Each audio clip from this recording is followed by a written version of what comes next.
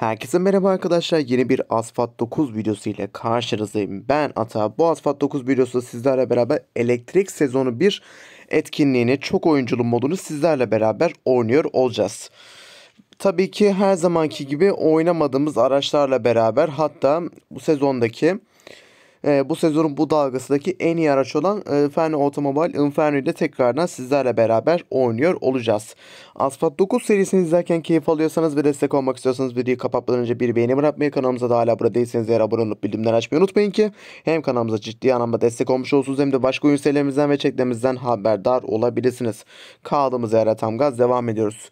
Chevrolet Corvette ZR1 ile başlayacağız. Kendisi e, galiba sezonun birinci ayağında ya da ikinci ayağında çok emin değilim açıkçası. Yorumlar kısmında yazarsınız Asfalt 9 bilenler ve severler.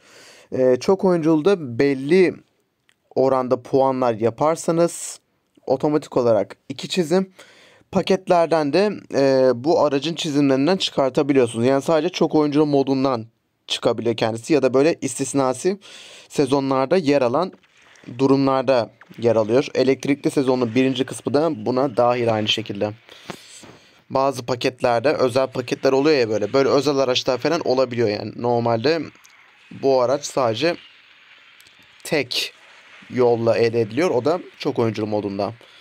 Ama böyle özel araçlar olup da sezonda yer aldığı için ekstradan aracı elde etme şansınız olabiliyor. Sesi bir tık açacağım. Biraz fazla kapattım. Tamam. Tamam da yeterli. Evet sevgili arkadaşlar Asfalt 9 bir süredir gelmiyordu. Asfalt 9 severler ne haber? Nasılsınız? Keyifler nasıl? Bunun olacağını biliyordum o yüzden. Bunun olacağını bildiğimden dolayı böyle bir soru sordum size. yani bir şey olacağını hissettim ve anında oldu gerçekten. Evet klasik Hof Adam şansım. Hof Adam şansı yine kendini konuşturdum. Mükemmelim gerçekten. Kelime tam anlamıyla mükemmelim ama. Evet sonuncu olduk. Arabayı da adam akıl test edemeden ettik aslında. Araba gayet iyi yani fena değil. Çok oyunculda eğer maksimum yaparsanız ancak kullanabileceğiniz bir araba. Ama tatlı araba ya. Ya Chevrolet Corvette yani ben Corvette'in birçok modelini seviyorum. Corvette Corvette çok güzel model değil mi ya? Çok güzel bir araba modeli değil mi gerçekten ya? Hani burada çok detaylı değil ama özellikle arka farlar falan böyle birazcık ee, böyle 2000 Need for Speed'lerini falan andırdı bana ama genel olarak güzel araba yani Chevrolet Corvette. Genel olarak hızı falan yüksek, ivmesi iyi, hakimiyet fena değil. Nitrosu da gayet iyi bir oranda. Çok daha iyi araçlar var mı? Evet tabii ki var. Ama 5 yıldızlı A sınıfı bir Corvette aracına bakacak olursak yani diğer A sınıf araçlarına göre gayet başarılı. Apex Apo ile oynamıştık daha önce o yüzden Mercedes-Benz STR McLaren'e geçiyoruz. Kendisini özellikle Need for Speed Most Wanted 2005'te çok çok fazla kullanırdım.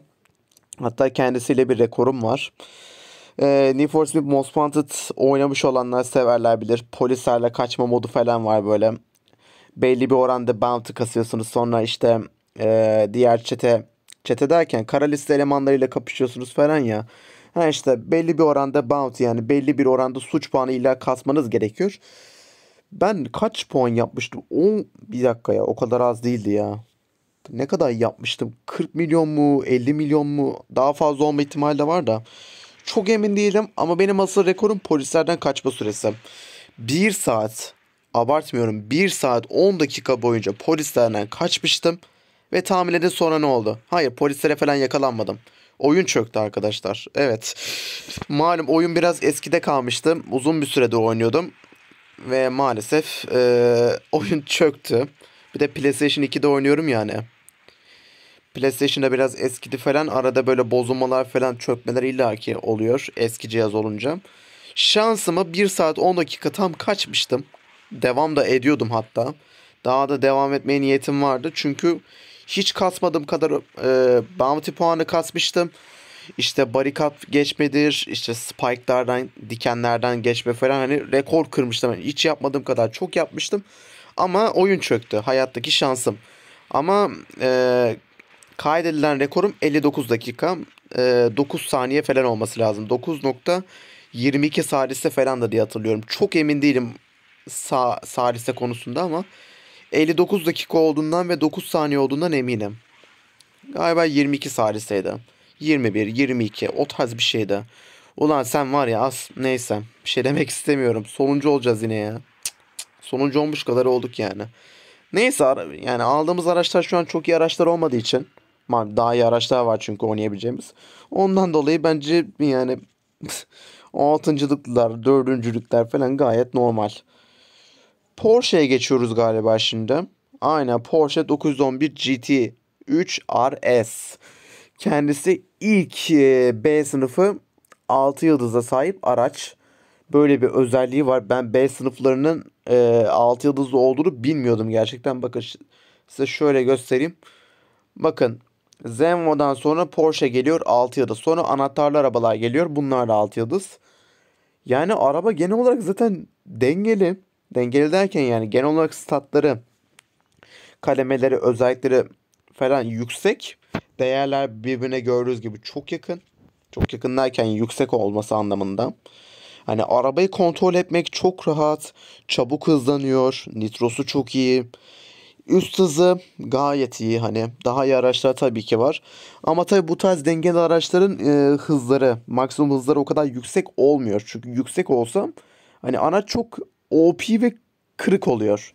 Ondan dolayı en yüksek hızları yani top speedleri böyle diğer statları biraz daha aşağıda olan arabalara göre bir tık daha düşük kalıyor. Çünkü her şeyin yüksek olduğunu düşünsenize. Mesela Bugatti Chiron diyelim. Nitrosu falan her şey çok güzel. Bir de araba 500 basıyor. HNS gibi. Kimse o arabayı kullanmayı bırakır mı? Bırakmaz. Yani eğer dengeli bir araç gördüyseniz e, bilin ki onun top speed'i diğer araçlara göre bir tık düşüktür. Zaten kendisinden daha iyi arabalar da var. Kademesi yüksek olarak. İşte daha kırık arabalar falan var. Ama kesinlikle bu Porsche bir touch drive dostudur. Touch drive oynayanlar için oh yani tadından yenmeyecek bir araba gerçekten. Şahsen ben öyle düşünüyorum. Şuna bakar mısınız abi mis gibi hızlanıyor mis gibi gidiyor. Apex de güzel de Porsche daha iyi. Yani Apex 5 yıldız bu 6 yıldızlı bir araba. Bir zahmet al işte. Benim salaklığım bu arada. Gerçekten benim salaklığım. Ben niye rampaya gitsin diye şey yapıyorum ki? Allah'ım yarabbim niye böyle ya? Bu video niye böyle oldu? Böyle olmaması gerekiyordu. Ne güzel ben birinci gidiyordum. Yani mis gibi gidiyordum. Niye böyle bir şey oldu ki? Belki yakalarım birilerini ama. Zaten amaç birinci olmak değil. Arabayı denemek de yani. Birinci olursak tatlı olur yani. Neden olmasın ki? Yani neden birinci olmayalım olabilecekken? Şimdiden dördüncüyle çıktık yani. Hatta üçüncüye çıkacağız galiba. Shock Nitro ile ara ama çarpıyorum ve hiçbir şey olmuyor. Sırf Touch Drive'da oynadığım için mi böyle oluyor yoksa oyun gerçekten genel olarak şike mi yapıyor? Açıkçası anlayabilmiş değilim. İkinci olma şansım zor ama üçüncüyüm en azından. Ama eğer o enkazı yapmasaydım şu an 1 ila 2 arasında 1 ila 1 ila 2 arasında gidip geliyordum. Olsun. Problem değil. Araba gerçekten çok tatlı ama. Aha da ikinciyim. Aha da ikinciyim. Boy. Keşke bunu birincilik birinciliği almak için yapsaydım. Neyse sıkıntı yok. En azından ikinci olduk. Tatlı. Çok tatlı. Araba gerçekten çok güzel bu arada. Keşke bende olsa. Hadi kilidini açtın diyelim. Nasıl kullanacaksın ki bunu? 6 yıldız. 6 yıldız abi bu ne? Bir de üstüne maksimum hali bu. Destansı ithal parçaları falan nasıl bulacağım? Neyse video 9 dakika olmuş. Sırada Rima Concept var. Rima Concept One var. Şöyle statlara genel bir inceleyelim. Bakın bu 368 basıyor. 86 iğmesi var. 84 hakimiyeti var. Nitrosu 54.5. Nitrosu çok yüksek olmamasına rağmen bence yani idare eder yani. Nitro güzel yani. Yeterli. Çünkü araba genel olarak hızlı olduğundan dolayı zaten. İğmesi falan da Porsche'ye göre de bir tık yüksek. Aşırı derecede yüksek değil ama yüksek. Bir de hani hakimiyeti falan da iyi. Araba çok iyi dönüyor bu arada. Ben arabayı şeyde denemiştim. Özel etkinliklerde 20 şartı tamamlayınca bu arabayı kullanabiliyorsunuz. Görevleri tamamlayabilmek için. Oradan 225 jeton geldi hatta bana. Görevleri tamamen yaptığım için. Araba çok tatlı ya. Araba harbi çok hoş. Ve ben bordo rengini bayağı sevdim bu arabanın. Yakıştı yani ne bileyim. Özellikle bazı araçlar var böyle. Kendi renkleri olunca daha hoş oluyor. Hani arabanın rengini değiştiresim gelmedi gerçekten. O kadar hoş ki. Tabii benim şu an yaptığım hata ama ne yapayım yani benim oynayış tarzım bu. Nitro'yu fulle zıbam yapıştır yani. Ben böyleyim. Profesyonel oyuncu olmadığım için Profesyonel oyuncu olsam bunların hepsini ayrıntını düşünerek yaparım ama yani ben zevkime göre oynuyorum. Biraz da hani daha iyi oynayabilmek için, kendimi geliştirmek için uğraşıyorum tabii ama hani tryhard oynamaya çalışsam o kadar eğlenceli olmayacak videolar. Yani zaten bilmiyorum ne kadar keyif alıyorsunuz. o kadar keyif alıyor musunuz bilmiyorum ama illaki alanlar vardı da hani tryhard oynamaya kalksam eğlencesi daha da kaçacak gibi geliyor bana hani. Adam akıllı ne bir konuşma olacak ne bir şey. Birinci miyim bu sefer? Galiba. Çok da inanmıyorum ama. Evet inanmamakta haklı mıyım? Evet internet çöktü. Bravo abi. Gerçekten internet çöktü yani. Birinci olacağım ya. internet çöker abi. Hof adam şansı yine konuştu. İyi arkadaşlar ne haber? bitiş çizgisinin önünde internetim gitti ya. Bitiş çizgisinin önünde. Arabayı bu kadar övdüğüm için ya yok ya internet bağlantısı çöksün de hani bütün emeklerimiz boşa gitsin diye araba beddua etti diye düşünmedim değilim. Düşünmedim değil yani şu anda. Gerçekten şaka yapmıyorum yani. Yuh ya. Gerçekten yuh böyle bir şey ya. Neyse Inferno Otomobil Inferno'yu kullanıyoruz. Yani kendisi zaten S sınıfın en iyi araçlarından bir tanesi. Gerçekten. Bayağı iyi bir araba. Hani Bugatti Chiron falan bir tık daha iyi olmasına rağmen kademesel açıdan Inferno'nun daha iyi avantajları var. E, Bugatti Chiron tabii ki de oyunun en iyi arabası değil ama hani en yakın kıyaslayabileceğim araba o. Neyle kıyaslayayım? HNS ile mi kıyaslayayım? Allah aşkına. Araba 514 basıyor son şeyde ya. Araba zaten hiçbir geliştirme yapmadan 500 basıyor. Bu nasıl bir araba harbiden ya? O nasıl bir araba ya? Ya abi ne yaptın ya? Öf.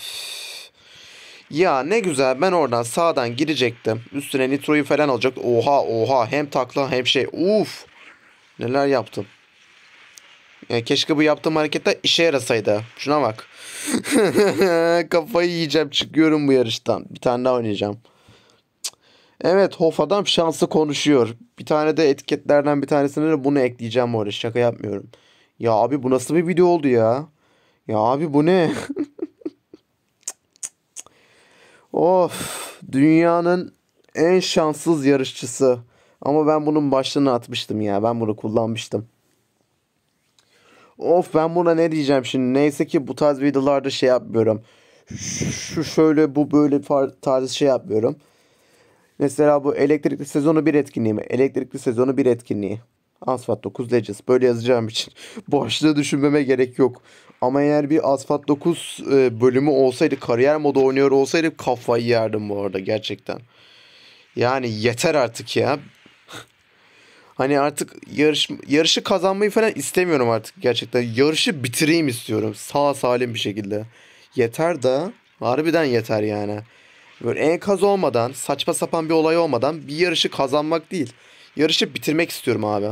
Al işte rampadan da uçamadım. Şimdi kafama binecekler değil mi? Ha binmediler okey. Ha üstüne öndeyim. Oo. Ama internetim gidebilir. Yani güvenmiyorum o yüzden. Tabii internetim gitmesinin sebeplerinden biri odamda oluyor olmam şu anda. Şu anda odamda video çekiyor olmam. O ayrı da. Yani şu an oyunu oynuyor, oynayabiliyor olmam bir yandan mucize gibi ama yani bitiş çizgisinin önünde de internete gitmez yani. Gitmesin yani. Kaç tane yarış yaptık sizinle ve tam bitiş çizgisinin önünde internetim gitti. Bu arada oha ben bu kadar fark mı attım? Oha ezmişim. Oo. Ama şu an ikinci gösteriyor. Heh okey. Kazandım. Kazandım. Hof adam kazandı. İşte bu be. Ne kadar fark attık? Bir buçuk iki saniye. Oha bir de 3 saniye fark atmışım. 3.10 saniye bu arada. 3.10. Yok 2.9 özür dilerim. 2.9 hayır. Olsun 3 saniye olsaydı keşke. Neyse kazandım mı kazandım. Ee, evet sevgili arkadaşlar video daha fazla uzamasın diye videoyu yavaştan kapatacağım. Buradaki ödüllerimi de alayım. Bu arada tam video kaydına girecekken saat 3 oldu. Ve ben buradaki görevlerin şu çok oyunculu yarışlar oyunu görevi dışında hepsini yapmıştım. Ama ödülleri toplamadım. Saat 3'ü 1 geçe şu an 17 geçiyor. 3'ü 1 geçe oyundaydım. 3'ü 1 geçe 2 dakika daha erken girseydim şu anda 933 jetonum vardı ama canımız sağ olsun diyerekten videoyu yavaştan sonlandıracağım. Umarım izlerken keyif almışsınızdır. Bu arada sürpriz bir Asphalt 9 Legends videom olacak. Normalde videonun başında göstermeyi düşünüyordum. Şöyle bir şey şu an bu durum böyle diye ama şu anda onu göstermeyeceğim. Vazgeçtim. Onunla alakalı ayrı bir video yapacağım. Haberiniz olsun. Umarım izlerken keyif almışsınızdır ve çok kanser olmamışsınızdır diyerekten videoyu yavaştan sonlandırıyorum. İzlediğiniz için çok teşekkür ediyorum. Tavsiye sorularınız için yorumlar kısmına ve sosyal medya hesaplarından ulaşabilirsiniz. Videomuzu beğendiyseniz ve destek olmak istiyorsanız bir beğeni bırakmayı biliyorum dedim bunu. Gece yorgunluğu. Aynı zamanda kanalımıza oynatma listesinden başka oyun serilerimize ve çeklerimize ulaşabilirsiniz. Bir sonraki videoya kadar kendinize çok iyi bakmayı unutmayın. Hoşçakalın.